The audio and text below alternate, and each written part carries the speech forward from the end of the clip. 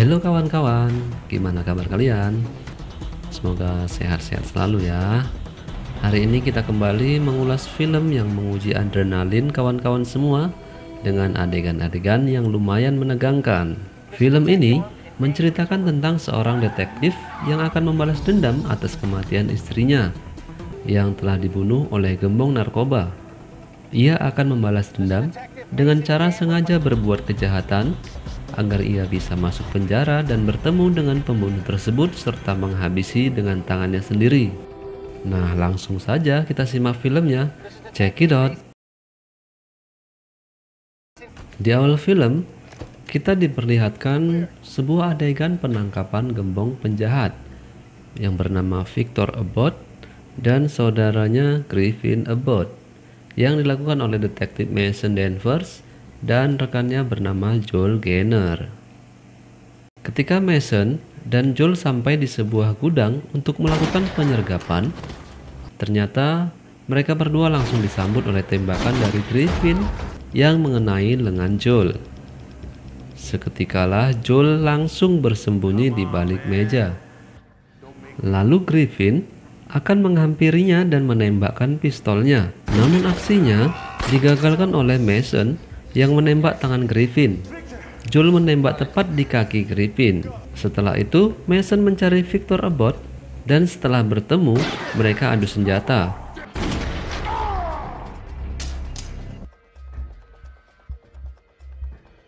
Kemudian mereka berkelahi dengan tangan kosong. Ketika Mason kalah dari perkelahian itu, bantuan dari rekan-rekannya pun datang menodongkan senjata ke arah Victor. Dan akhirnya Victor ditangkap.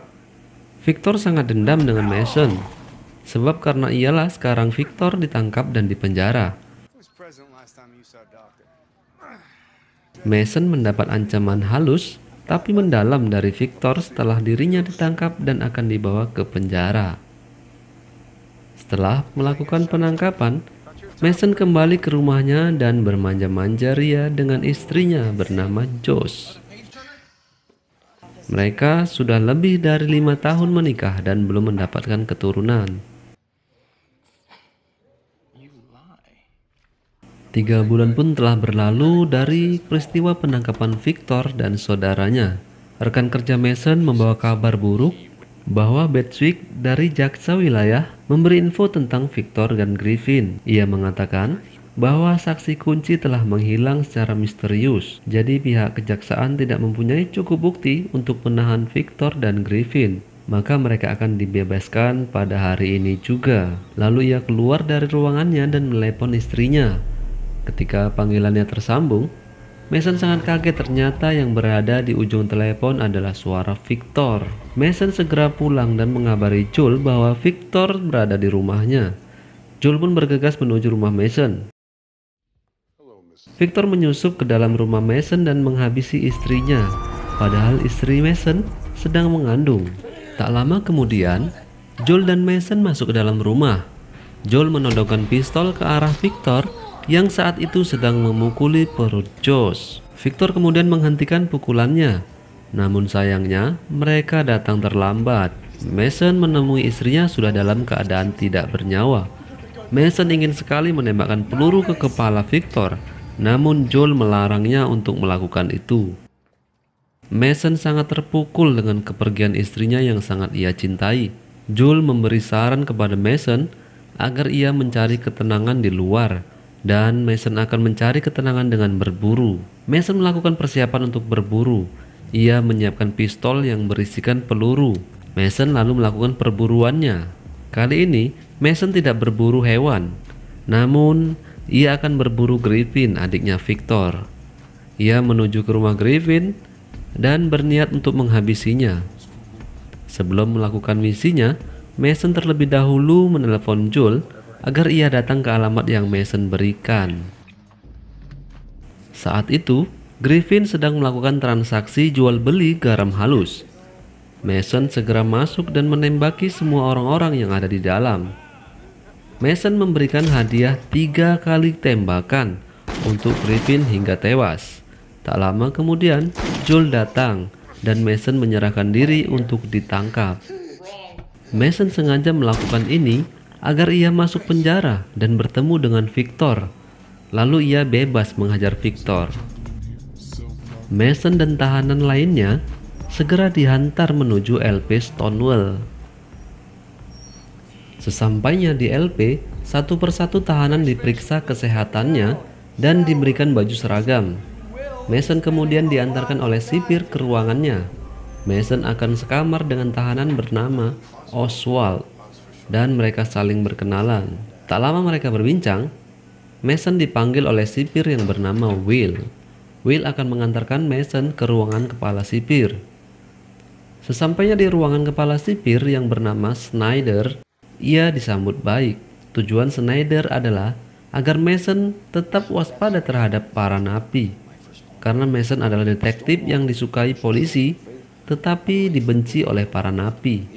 Bahkan, Snyder mengatakan, jika kau punya tujuan untuk dilakukan di penjara ini, maka lakukan saja.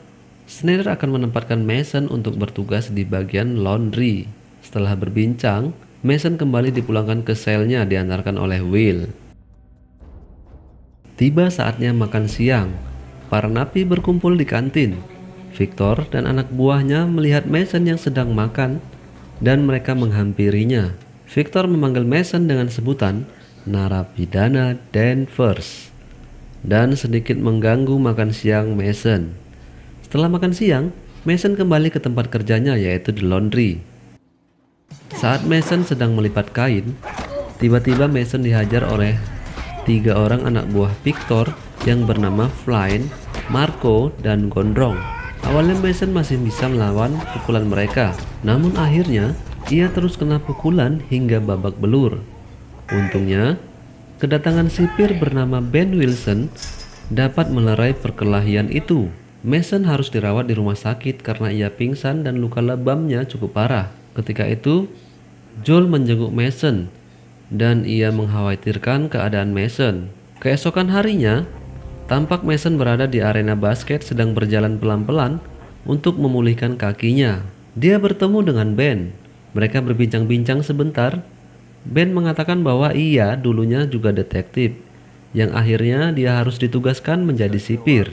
Ben mengatakan kalau tujuan Mason masuk di penjara sini untuk balas dendam dengan Victor, adalah cara yang salah. Karena di penjara ini, Victor sebagai penguasanya.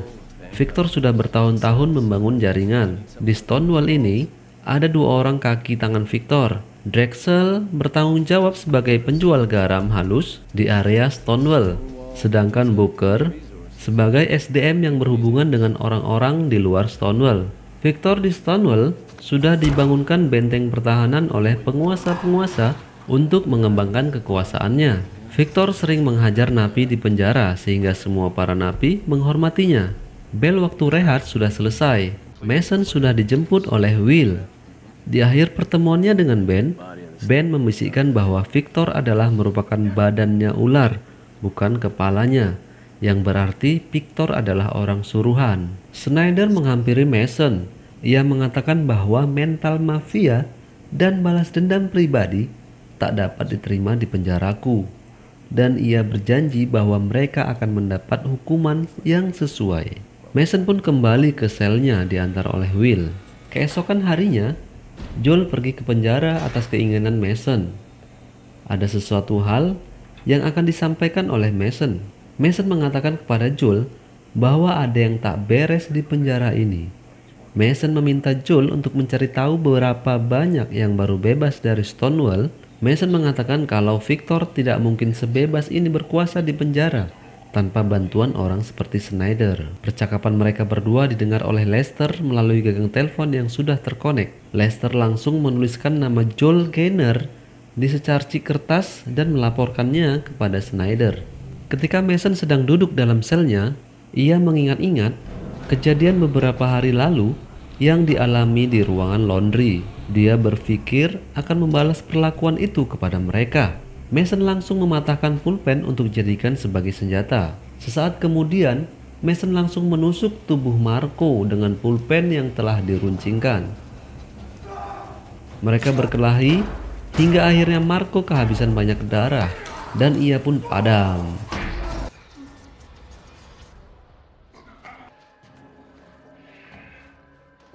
Setelah menghabisi satu orang, Mason pergi ke target berikutnya.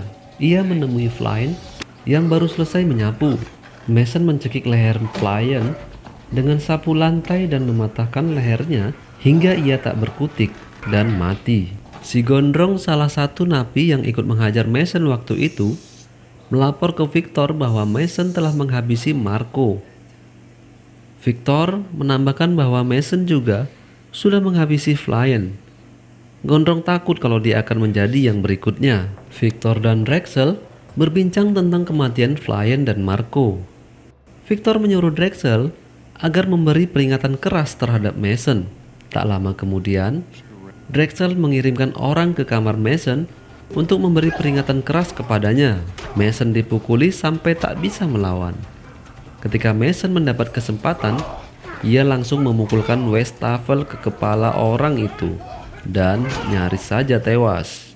Namun Mason dipukul oleh sipir dari belakang dan langsung membawanya ke ruangan Snyder. Snyder mengatakan kepada Mason bahwa ia sudah membuat kekacauan di dalam penjara dan Snyder akan membuat perjanjian yang saling menguntungkan. Namun Mason tak setuju. Mason langsung menolaknya. Seketika Snyder memanggil sipir Will untuk membawa Mason ke tahanan bawah tanah selama satu minggu. Mason secara terang-terangan mengatakan bahwa dia curiga jika Snyder dan Victor mempunyai perjanjian yang saling menguntungkan. Lalu Mason meninggalkan ruangan tersebut. Drexel dan Boker menemui Victor. Mereka mendiskusikan untuk menghabisi Mason. Victor ingin Snyder terlibat dahulu sebelum mereka menghabisi Mason. Setelah satu minggu berlalu, Mason dikembalikan ke kamarnya dan harus bertugas lagi di laundry seperti awal.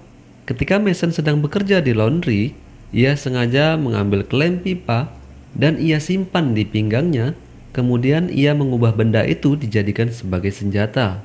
Kemudian Mason membangunkan teman sekamarnya untuk meminta bantuan. Gondrong tampak memasuki arena olahraga. Teman sekamar Mason mengatakan bahwa Victor sedang menunggu di sel Gondrong dan Gondrong segera menuju selnya. Mason sudah berada di sel Gondrong.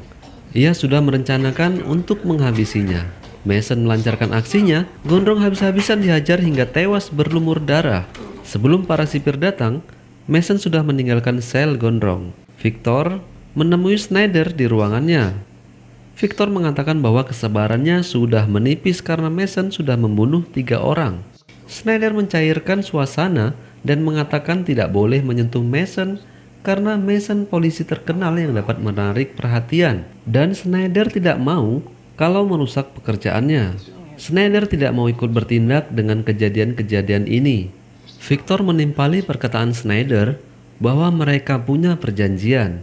Namun Snyder membalas perkataan Victor kalau perjanjian itu berlaku di luar Stonewall. Victor mulai geram dengan perkataan Snyder. Namun Snyder memberi sepotong kertas yang bertuliskan nama Joel Gaynor yang merupakan teman baiknya Mason. Snyder akan mengatur kedatangan Joel agar mereka bisa balas dendam melalui Joel. Sivir Lester menghubungi Joel lewat telepon. Ia mengatakan bahwa Mason telah tewas karena terjadi pemukulan. Lester meminta Joel agar datang ke Stonewall untuk mengenali jasadnya. Ketika Joel telah sampai dan memasuki salah satu ruangan, ia dikepung oleh anak buah Victor dan dipukuli. Sebelumnya Mason juga sudah ditangkap dan diikat tangannya oleh anak buah Victor. Joel dipukuli hingga tewas di hadapan Mason. Mason pun tak dapat menolong temannya. Sipir Lester hanya menonton kejadian yang mengenaskan ini. Mason berpikir keras untuk misinya kali ini dia akan menemui Snyder. Mason seolah menyerah dengan kejadian ini. Dia menanyakan kembali tentang perjanjian yang menguntungkan kedua belah pihak yang pernah ditawarkan oleh Snyder. Snyder ingin Mason bisa membunuhi orang-orang yang mengacaukan bisnisnya. Mason punya keahlian sebagai polisi dan juga sebagai seorang pembunuh berdarah dingin. Kalau Mason setuju, maka mereka akan sepakat untuk mewujudkan tujuan bersama. Sebelum Mason mengatakan sepakat, ia ingin sesuatu dari Snyder. Saat tengah malam, sipir Will membangunkan Booker dan mengatakan kalau kepala sipir ingin bertemu dengannya. Booker segera ikut dengan Will. dan menunggu kedatangan kepala sipir. Tiba-tiba, Mason datang dari belakang Booker dan menyuntikkan sebuah cairan yang membuat Booker tak bergerak.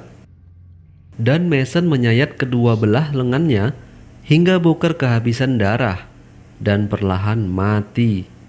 Ini permintaan pertama Mason kepada Snyder.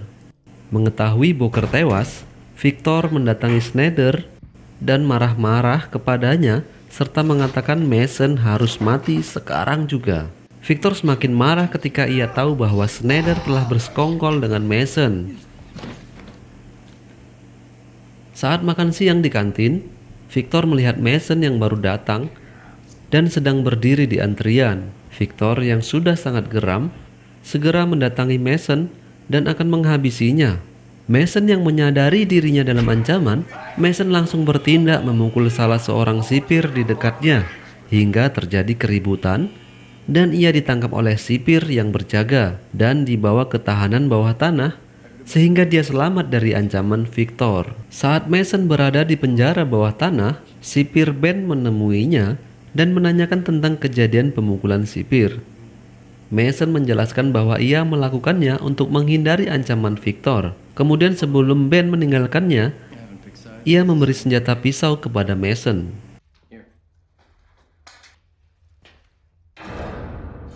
Keesokan harinya, Snyder menemui Mason. Ia meminta maaf karena harus menempatkan Mason di penjara bawah tanah. Snyder melakukannya untuk menjaga wibawa sebagai kepala sipir. Lalu Snyder mengatakan kalau Mason telah melakukan aksinya di luar perjanjian. Mason langsung menyangkal kalau ia tak punya perjanjian dengan Snyder dan Mason mengatakan tak membutuhkan Snyder lagi. Snyder jadi geram pada Mason. Padahal ia sudah membantu untuk membunuh Boker. Mason langsung menimpalinya karena Snyder lah Victor bisa keluar dari penjara dan membunuh istrinya. Snyder langsung meninggalkan Mason. Pada pagi hari yang cerah, Snyder memanggil Victor untuk meminta maaf kepadanya. Snyder punya rencana lain untuk Mason. Setelah itu Snyder menemui Mason dan mengatakan kalau ia akan memindahkan Mason di penjara yang lain. Hal ini dilakukan agar Mason mengakhiri rencananya terhadap Victor. Mason kembali ke selnya dan memikirkan rencana yang lebih cepat sebelum ia dipindahkan. Saat di kantin, Oswald teman sekamar Mason menghampiri dan memberikan informasi bahwa tadi pagi Victor dan Drexel sedang ada meeting di ruang atas. Saat meetingnya sudah selesai, dan Drexel masih di atas sendirian. Setelah mendapat informasi itu, Mason langsung bergegas menuju lantai atas. Sesampainya di sana, Mason langsung memukul Drexel dari belakang. Drexel lalu membalas pukulan dari Mason hingga mereka berkelahi. Tak lama kemudian, teman-teman Drexel datang dan memukul Mason. Namun Mason masih bisa melawan dan membuat mereka tak berkutik. Lalu Mason memukul Drexel dan mengikat lehernya sambil menggiringnya ke pinggiran atap dan melemparkannya tepat di atas Will. Drexel dan Will seketika mati. Setelah melemparkan Drexel, Mason langsung menemui Snyder dan hendak menghajarnya, namun para sipir menggagalkannya. Mason dipaksa keluar dari ruangan Snyder. Keributan lanjut terjadi di halaman olahraga. Para napi saling pukul dan memukul para sipir agar mereka bisa kabur dari penjara. Victor juga berada di sana dan mencoba menembak Mason namun tidak kena. Lalu mereka berkelahi hingga akhirnya Snyder menghampiri Victor dan Mason. Snyder menembakkan pistolnya ke lengan Mason. Setelah itu Snyder menyerahkan pistolnya kepada Victor agar ia menembak Mason. Mason langsung berkata kalau Snyder lah yang telah membantunya untuk membunuh Booker. Victor langsung menembakkan peluru ke Snyder, lalu menendang tepat di paha Snyder hingga terjatuh. Victor hendak menembakkan pistol ke kepala Snyder, namun sayangnya peluru sudah habis. Victor berusaha memukul Snyder, namun para sipir membantu Snyder. Perkelahian kembali terjadi, beberapa napi menghajar Mason. Namun dengan keahliannya, Mason bisa mengalahkan mereka semua. Tiba-tiba sipir Lester menodongkan pistol ke arah Mason. Mason langsung merebutnya dan menembakkannya untuk pembalasan kematian Joel. Lalu Mason menembak kaki Victor. Sepertinya tidak pengaruh apa-apa terhadap Victor. Lalu Mason mencoba menembakkan lagi, namun sayangnya pelurunya sudah habis. Victor langsung memberi bogem kepada Mason. Tapi Mason masih bisa melawan. Victor meminta peluru kepada Lester. Lalu Victor menembak Lester yang lagi sakratul maut. Ketika Mason terjepit pada satu keadaan yang sangat terancam, Mason langsung dengan cepat mengeluarkan pisau yang pernah diberikan oleh Ben dan seketika menggorokkannya ke leher Victor. Setelah itu menembakkan peluru tepat di kening Victor. Schneider diam-diam hendak menembak Mason dari belakang, tapi Ben segera datang dan menggagalkannya. Kemudian Schneider ditangkap dan cerita ini berakhir sampai di sini. Baiklah, terima kasih yang setia nonton sampai akhir. Jangan lupa subscribe dan like video ini. Sampai jumpa, bye bye.